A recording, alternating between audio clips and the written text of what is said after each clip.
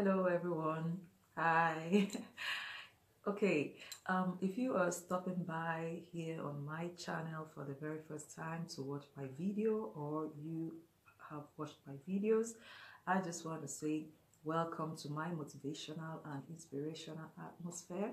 My name is Claire, and please do me a favor. Please just click on the red button, the subscription button, and subscribe to this channel and be a part of what is going on here.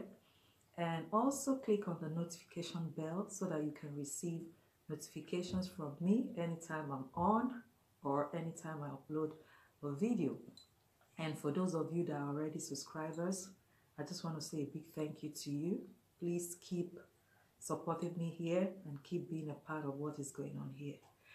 Okay, before I start, um, because today I actually came out here to do something different and um, I am actually here today to share a life-changing experience, an encounter um, that changed my life for the best. I am out here today to share my story um, of why I am so passionate about the things that I am doing here. Um, but before I do that, I just want to thank God and to say all the glory to Him because it has been God all the way. It is God who has brought me this far. So I don't take His grace for granted. I mean, His grace in my life, I don't take it for granted. So I thank God for bringing me this far. And, um, you know, why am I sharing this story today? Um, it's because most times people don't understand our journey, they don't understand where we are coming from, and they don't understand the reason why we are so passionate about the things that we do.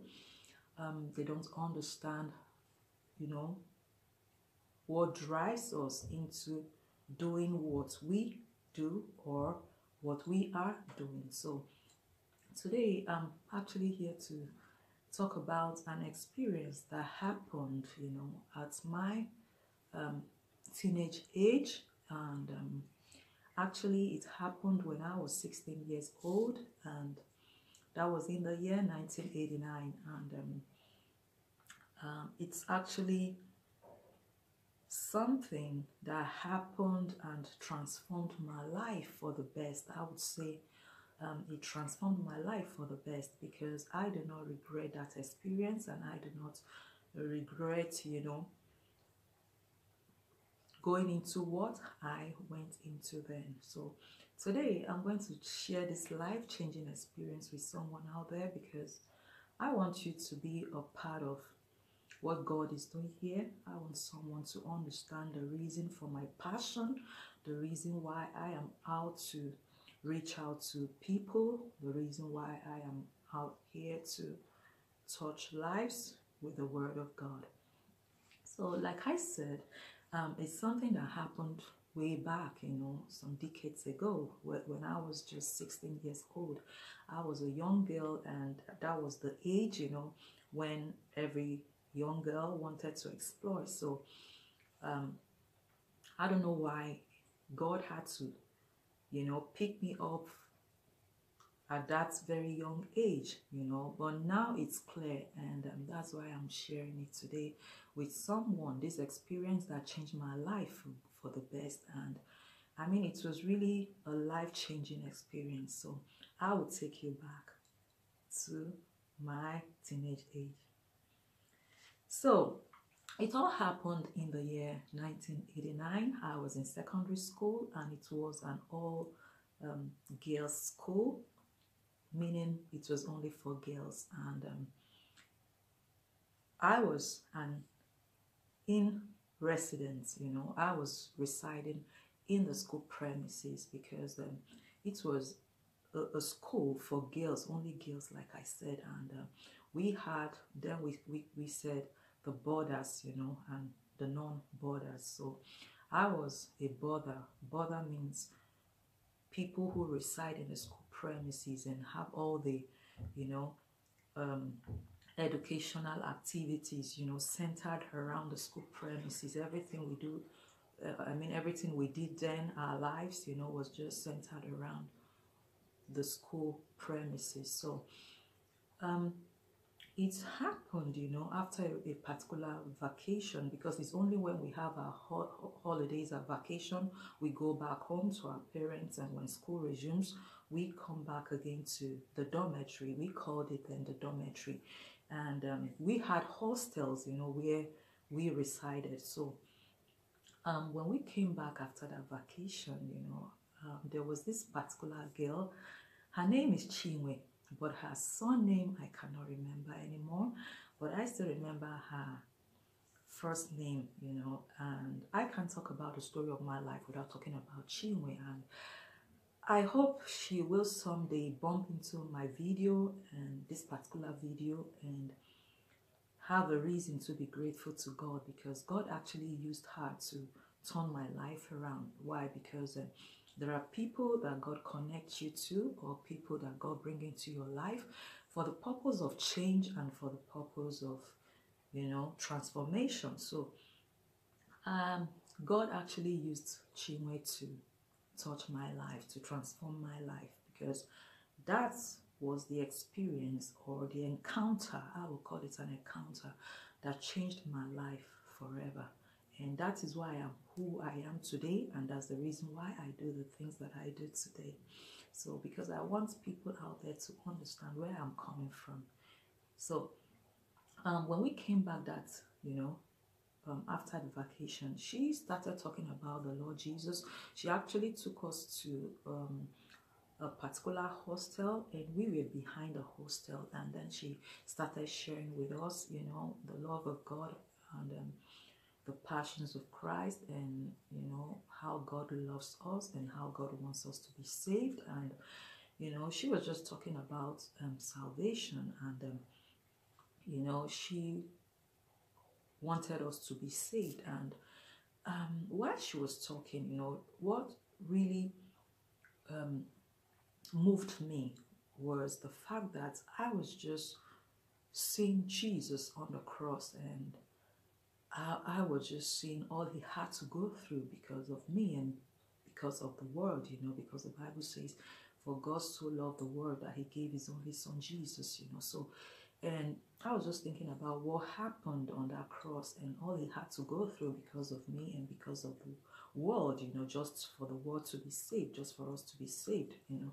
So, um, as I was just thinking about that, you know, I was like, if he could do this for me, if he could do this for the whole world, then I owe him everything. I owe him my life and I owe him every breath that I breathe. And, um, you know, I was just overwhelmed and I was crying and the tears were just dropping. And at that young age, I gave my life to the Lord Jesus Christ and I received, you know, the gift of salvation. So from that moment, you know, onwards, I became a child of God and I was involved, you know, in the things of God and I am still in the kingdom. So since then, you know, I have been in the faith.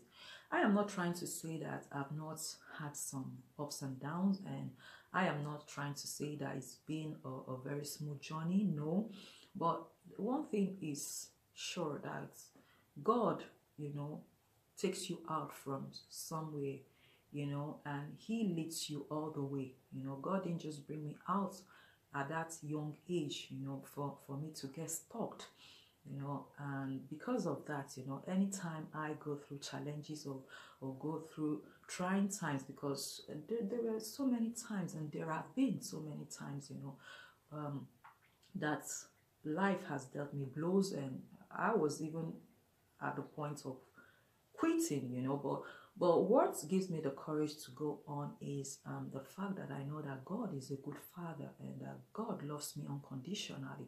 And anytime I remember that the Christian life is a race, and um, as long as I am in this race or we are in this race, it's all about getting to the end of the track, you know, getting to the finish line. And uh, anytime I think of that, I'm like, you know, I'm going all the way, uh, you know, out there and I'm going on till I cross over, you know, that line and I would then know that it's over. So, but one thing is certain that I will have eternity with God. So I am actually sharing this encounter, you know, this beautiful story today because um, I want someone out there saved, you know. Um, I don't know where Chinwe is today. We don't have any contact. Our paths don't cross. I don't even know if she's still alive and she doesn't even know if I'm alive. But the truth remains that her life was changed. And I thank God for for her life, you know, that she gave to the Lord. I am a soul um, that she converted and um, I am glad because it has been from, you know, glory to glory. Like I said, it has not been an easy road, but God has been faithful and, you know, I am still moving on. So I am out here today to reach out to someone and uh, maybe you are out there, you don't believe and you are procrastinating or you are saying, uh, you know, is not real, you know, salvation, this whole thing about salvation is not real. I want you to know that it's real, you know. And I want you to know that what Jesus did on the cross of Calvary is real. I want you to know that, you know, this whole thing about salvation, it's real. It's not just a story. Heaven is real and hell is real. And you might be thinking you have the whole time here on earth. Remember, no one lives here forever. Nobody stays here on earth forever. But the question is, where will you spend eternity? Are you going to spend it with God or are you going to spend it, you know, with the adversary, the enemy, the devil? So today, because like I said, hell is real, heaven is real. So and someday we will all stand before the Lord after all is said and done. But the question is, where will you spend your eternity? So if you are someone and you are out there and you don't believe in Jesus, you don't believe in God, I don't want you to procrastinate. I, I am calling out to you today. I am reaching out to you today because I also want you saved. Because I know for sure that what Jesus did for us, what God did for us is real. The Bible says he gave us his only son Jesus, that whosoever, John 3.16, believes in him shall not be doomed, shall not perish, but shall have eternal life. In other words, that person will not be condemned, but that person will inherit the life of God and will spend its life eternal with God in eternity. So um, I am reaching out to someone today and asking you to give your life to Jesus Christ because for you to be a, a, a, part of this beautiful kingdom of God, looking back now, you know, I do not um, regret my giving my life to Jesus Christ because I still remember um, as a kid, you know, growing up my father was a very religious type. My father never joked, you know, with the things that had to do with God, anything that pertains to God. And I still remember how we would do our morning devotions and pray and you know all the time but my father never had a personal relationship with the lord then you know while i was very young but the truth remains that my father was very religious but he never understood you know, what this new life in Christ is all about. He never understood or he never knew what it was like to have a personal relationship with the Lord Jesus, you know, until I led him to Christ. But that was much later on, you know. So, um, I gave my life to Christ as a little girl, uh, as a, as a young teenager, like I said, and I don't have any regrets, you know. So, I remember also how I, I, you know, after I gave my life, how I, I was so passionate about souls, how I would talk about the Lord Jesus in taxis and buses with people on the street, you know. I've had to do house to house evangelism, you know, reaching out to people. I, you know, was so drowned in this um, whole sea, you know, of reaching out to souls. And um, that's my passion. Like i i said i am so passionate about it because i just want people to be saved. I don't want anyone to you know miss it. So that's why i am reaching reaching out to someone out there today. Maybe you you think it's not real. It is real. What Jesus did is real. And heaven is real. Hell is real. So I want you to give your life to Jesus. Don't procrastinate before it's too late. Because if you don't do it now, you might end up regretting it and it might be too late then. So why am I talking about, you know, like at a very young age, you know, I remember all my life I used to be this reserved. Then I used to be this very reserved, shy.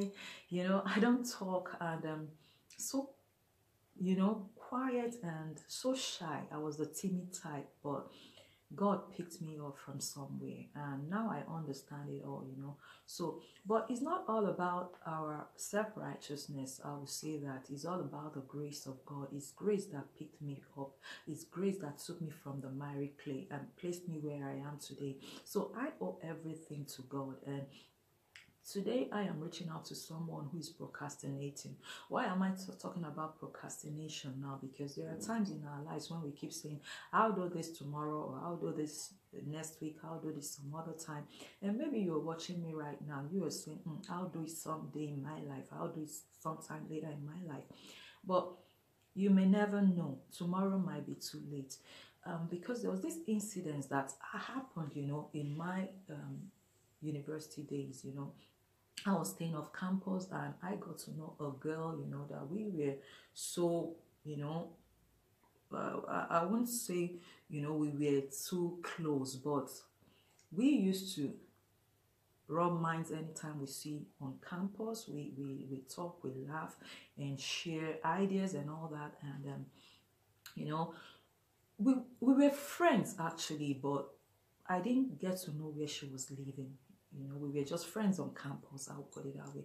But outside campus, I never knew where she was staying. And um, because I was staying on campus and she was residing off campus. And um, I don't want to mention her name here for some reasons, you know. So we would talk, we would laugh, and I could remember her, you know, telling me all the time, come visit me, come know my place, you know.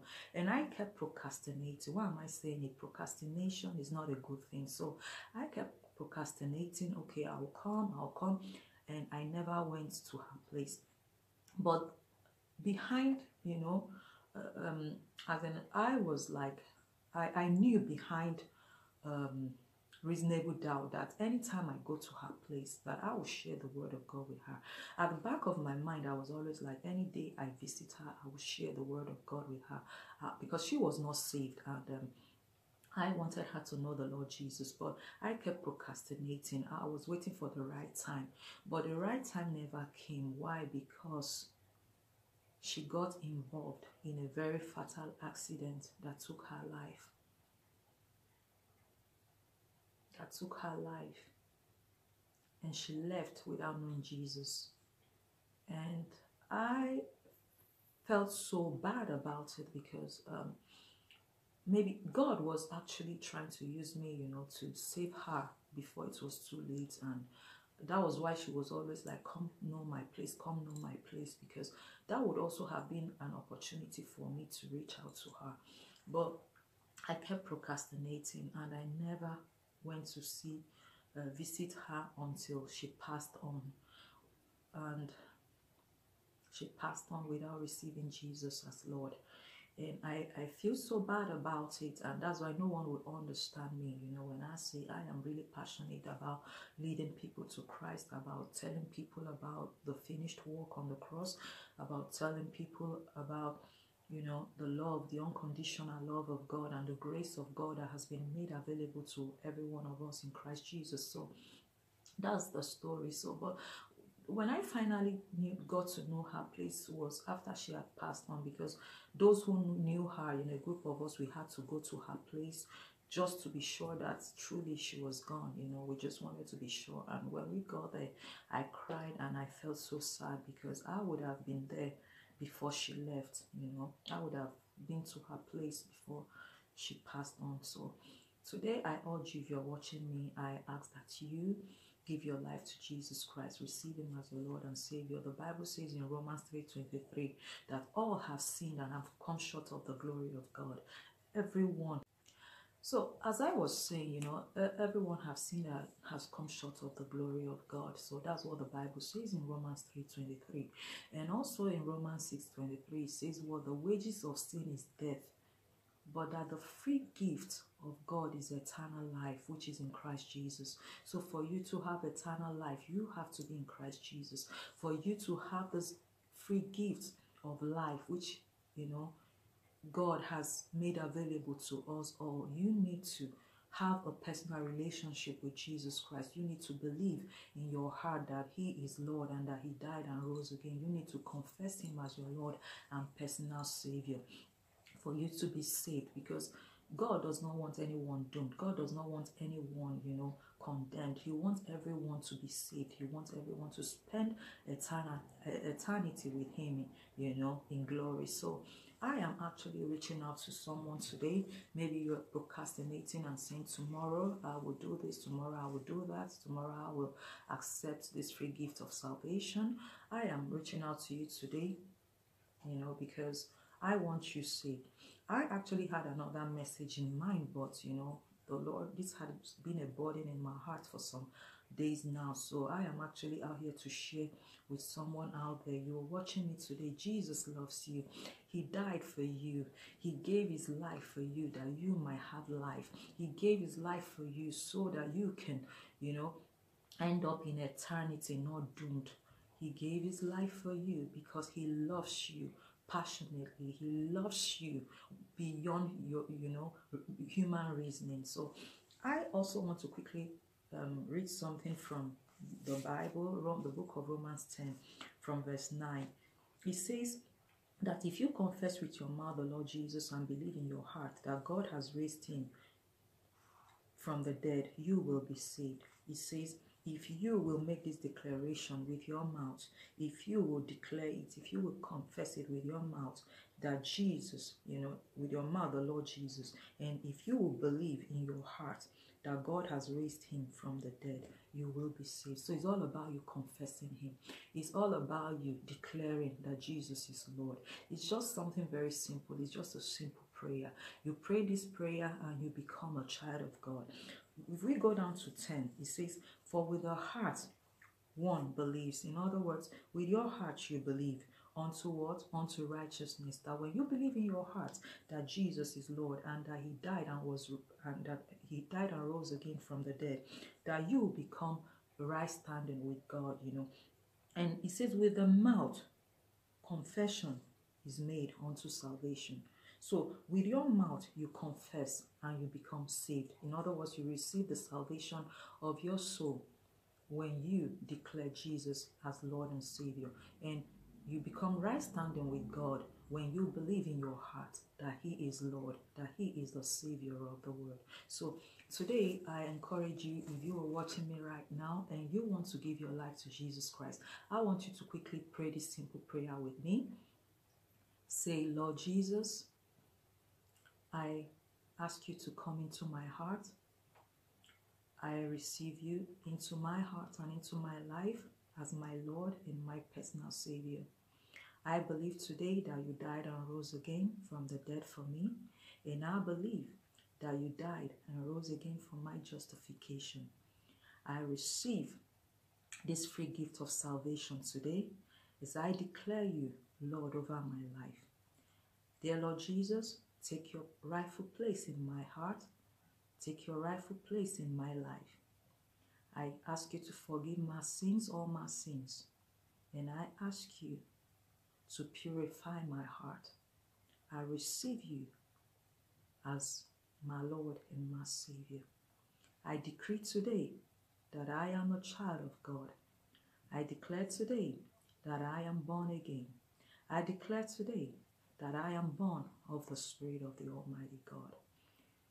If you said the simple prayer with me, I want you to know that God heard you and that you are now a child of God. And congratulations and welcome into this beautiful family of God. This is the encounter that I had as a very young girl. And this encounter changed my life. And that is why I stand out today. And that is why the kingdom of darkness can't stop me. And nobody can. And nothing can separate me from the love of God. And nothing can hinder me from talking about the Lord Jesus.